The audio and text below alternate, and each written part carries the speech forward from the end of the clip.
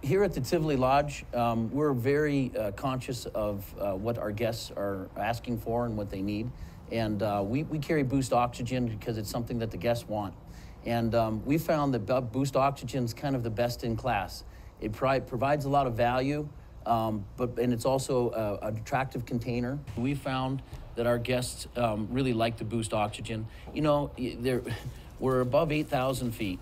We have guests that uh, invest a great deal of energy in, in planning their vacation, and the last thing they want to do is have troubles with the uh, with the altitude and the oxygen. So Boost has been a really relevant and really a nice product uh, that's added to our guest experience. We started off having it in the room, the oxygen, uh, and we found that the guests like it so much that we also added some of the flavor, smaller um, oxygen to our bar and uh, they've really liked those as well. So um, everything that we've presented to our guests from Boost has been successful, and um, a lot of our guests I, I know continue to use the product even when they go home because our we, we're a boutique hotel. Our guests expect a lot. We really take a great deal of time and energy to vet the products that we present them, and we've found that Boost has been really very successful, and our guests have had a great a great amount of feedback, and we just keep giving them more.